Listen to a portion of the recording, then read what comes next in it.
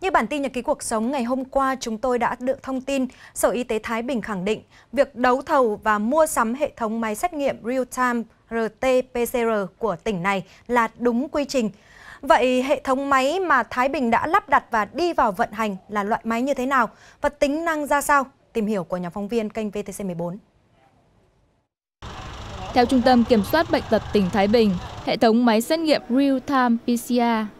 hoàn toàn tự động, được trung tâm tiếp nhận và đưa vào hoạt động từ đầu tháng 4. Công suất mỗi lần chạy máy là 96 mẫu và cho kết quả trong vòng 4 giờ.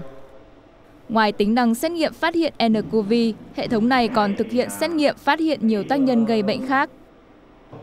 Liên quan đến vấn đề giá cả, đơn vị này cho biết chỉ tiếp nhận, còn giá cả mua bán ra sao thì không rõ.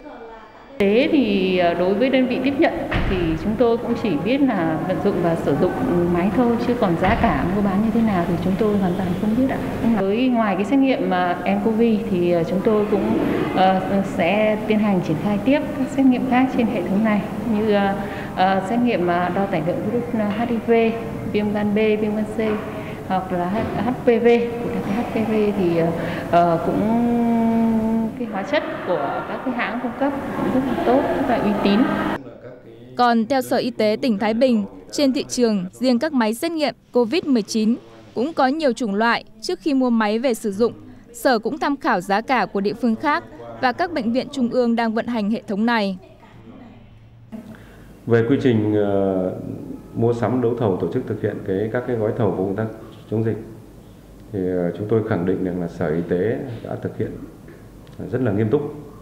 và đúng các cái quy định của pháp luật về công tác đấu thầu. Vấn đề thứ hai nữa là cái thiết bị hiện nay và chúng tôi đã lựa chọn thì ờ, đã được đưa vào để phục vụ cho công tác phòng chống dịch, thì cũng đã đáp ứng được ờ, về vấn đề tiêu chuẩn chất lượng cũng như là một số các cái tiêu chuẩn mà ngành đặt ra để không những sử dụng cho trước mắt cũng như là sử dụng cho lâu dài ờ,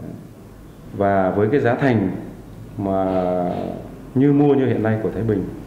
thì chúng tôi cho rằng là cùng trên cơ sở một số các cái kết quả à, đấu thầu của các cái địa phương rồi các cái viện trung ương có liên quan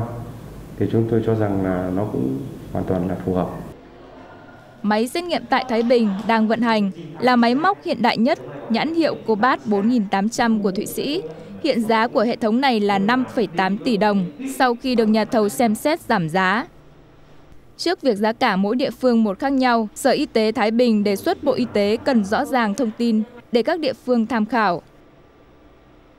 Ở đây thì tôi cũng đặt vấn đề là ờ, với Bộ Y tế là cái cơ quan chủ quản, cũng là cái cơ quan mà ừ, quản lý nhập khẩu các cái thiết bị. Vì đối với các thiết bị này là các cái thiết bị mà được nhập khẩu có điều kiện thì cũng có những cái thông tin ờ, rõ ràng hơn Ờ, để cho các cái địa phương chúng tôi cũng có thể căn cứ vào đó để có một cái sự lựa chọn cho nó phù hợp.